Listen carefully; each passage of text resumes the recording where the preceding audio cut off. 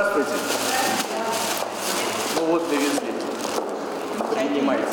Это земля, которую мы набрали на горе того, чтобы поместить ее в мемориал Победы. Землю участники автопробега везли из Севастополя в Красноярск специально, чтобы передать музею. Теперь пустующая гильза наполнена. Ее поставили на свое место. Здесь, посреди зала, с именами солдат находится 13 емкостей. Наполнены они землей, где в годы войны проходили сражения. Однако по неизвестным причинам земли с полуострова Крым не было. Она была утеряна и восстановлена, земли а, у нас до сегодняшнего дня не было.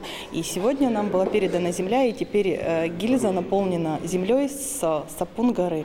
Это очень большое знаковое для нас событие, потому что ну, такая была несколько несправедливость по отношению к городу-герою Севастополя и его защитникам.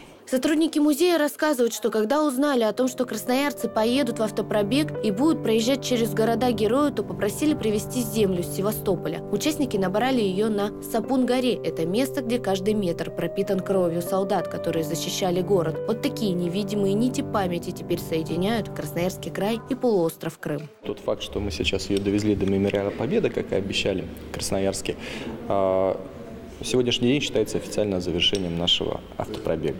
То есть это та миссия, ради которой в том числе мы и ехали в наш пробег, и эту землю мы собирали всеми участниками нашего пробега. Дни, которые жители края провели в автопробеге, навсегда останутся в памяти. По словам организаторов, впереди всех зрителей ждут еще несколько подобных масштабных проектов, которые тесно связаны с темой патриотизма и Великой Отечественной войной.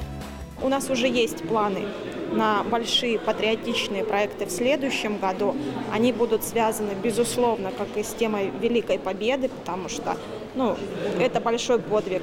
И мы лично убедились в том, что страна и люди, самое главное, люди очень много сделали для того, чтобы мы жили. Причем главным героем этих проектов может стать каждый житель нашего большого Красноярского края.